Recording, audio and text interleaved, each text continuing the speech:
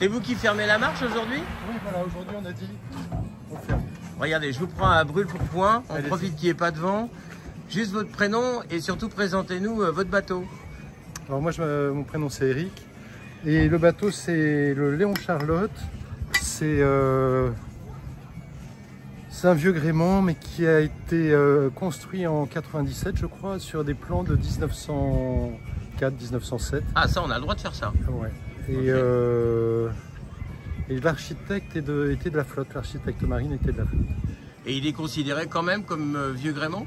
Oui, mais il ne peut, pas apparti- il peut pas appartenir à certaines euh, catégories de véritables vieux gréments. Ah, donc c'est un vrai faux, mais C'est un vrai un vrai dans l'âme. Oui, exactement. Ok. Et qui- ouais, non, mais c'est très agréable, très sympa à, à naviguer. Bon, question de Candide. euh, il mesure combien? Attendez, on va se tourner avec le vent. Hop, Euh, venez il me voir, venez euh, non, mais il faudrait ressortir les. Vous allez prendre en photo les papiers du bateau. Enfin, il y a une petite pancarte, vous pourrez avoir tous les renseignements Ok. bien précis, mais c'est de l'ordre de 5-6 mètres. Ça dépend si on compte le bout d'or ou pas. Ouais. Et voilà, et c'est un gréement aurique. Vous avez vu les voiles euh, qui sont un peu différentes, enfin qui sont gréées de façon différente par rapport au, au gréement euh, Marconi. Mais c'est pour quel euh, C'est pour vous Île Dorée TV Ah d'accord. sur, sur YouTube. Non. Voilà. Donc on vous interview, on est passionné de voile. A priori, vous avez un bateau, vous aussi. Oui. Et donc on fait la minute euh, du Ah propriétaire. Très bien. Très très bien. Et, et vous participez souvent à des compètes? C'est la deuxième année, on- je l'ai acheté l'an dernier, on l'a acheté l'an dernier, et c'est la deuxième fois qu'on fait euh, la compétition.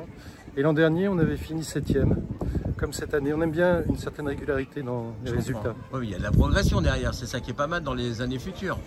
Il peut y avoir de la progression, il peut, c'est possible. On se laisse ce- ce- cette possibilité-là. Quand vous avez acheté le bateau, vous l'avez acheté avec la place au port? Oui, Ah oui, ça aide un peu. hein. Ah bah sinon c'est pas possible. Ça, c'est la grosse question que je pose. Sinon, il faut attendre 25 ans. C'est ça. Alors je crois que c'est pour les vieux gréments, la mairie euh, ou Ah, le département. euh, bah oui, en fait on, on- on s'engage à laisser le, le vieux gréement dans le port Oui, ok. et à naviguer autour. Donc euh, voilà. Ça fait de l'animation, ça, fait, un visuel, c'est sympa. Ouais. Ouais, Mais, ouais. mais vous payez pas plus ou moins cher, Ah non, non, non, pareil, comme les autres bateaux. comme les autres bateaux. Bah, écoutez, merci pour la minute.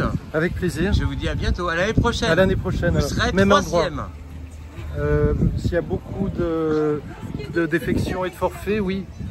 On espérait qu'il y ait un ou deux forfaits, mais bon, ils, sont- ils se sont tous présentés. Ce qui est difficile, c'est d'être régulier. Donc, Ah, nous c'est-à-dire étions derniers. Cette Oui. année, nous sommes derniers. D'accord. Parce que quand vous, me parlez de, Septième, on parle pas de dernier, on parle de septième. quand vous me parlez de régularité, on a l'impression que vous parlez un petit peu de... Ça, c'est un peu mon boulot, les voitures de collection. Et on fait des courses de régularité. C'est ça. C'est un peu, c'est un Nous, peu on la même idée. C'est un on petit est peu vraiment voilà, dans cet esprit-là. Ouais, ouais. Voilà, exactement. Surtout ne pas aller trop loin. Ouais. Et puis surtout, Et- et puis, re- pas, pas trop vite non plus. puis revenir au port aussi. revenir Et au revenir port, au c'est port. important. Et là, c'était un peu difficile. quand même. C'est bon, vous avez une pompe de cale électrique Oui. Même pas Si, si. Vous avez une écope on à l'ancienne On a les deux. On a les deux. Ok. Et une pompe à main. Bon, eh on ben, a je, tout. je vous dis à bientôt, salut. À bientôt. au Ciao. revoir.